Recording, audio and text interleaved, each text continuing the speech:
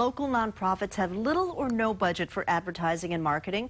One local company, Volta Industries, is trying to help Hawaii's community groups by hosting a contest. Arden Penton, Director of Media and Operations from Volta Industries, is here to tell us how to enter. Good morning. Good morning. Good morning. So what about this contest? Yes, this is actually our third annual awareness powered by Volta.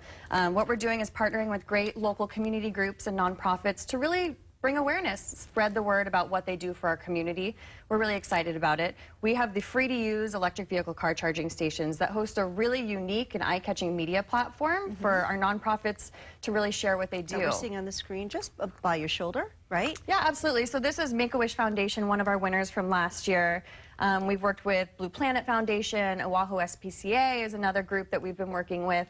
Um, and it's really just to elevate their advertising. And like I said, they have very small marketing dollars, right. if, if any. Um, so it's a great opportunity for them. They can go to our website. It's voltacharging.com. Okay.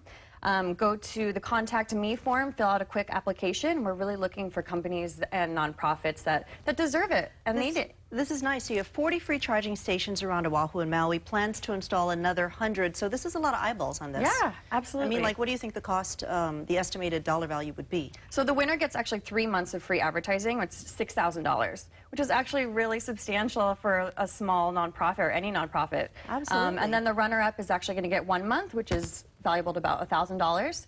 So yeah. what they can do is fill out an application form, and then what we do is we pick our, our three semifinalists, and we post that on Facebook, and then the community is able to actually vote and say who they think really deserves the space. So like on Facebook, I would be reading their whole contest application? Is that how you can go once out, we have or? our semifinalists? You can go on and vote every day for who you think. But that's what should you be the winner. Correct. Okay. So, like, what are you looking for?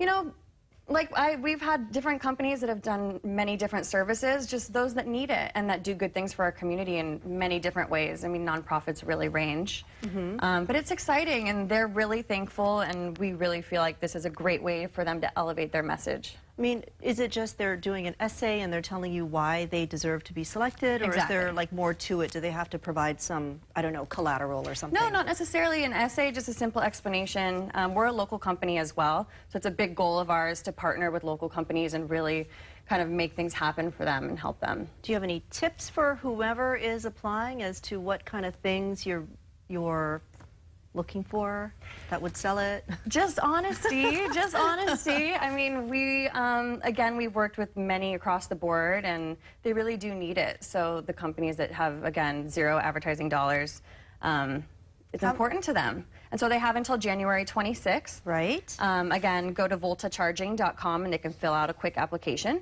Okay. Um, and then we'll be making the announcement for who the winner is and do a big social media run, and it's really fun for everybody to get involved. All right, we'll definitely follow up with you and we'll see uh, who won of all the many worthy groups in our community. Thank you, Arden Penton, Thank Director you. of Media and Operations from uh, Volta Industries.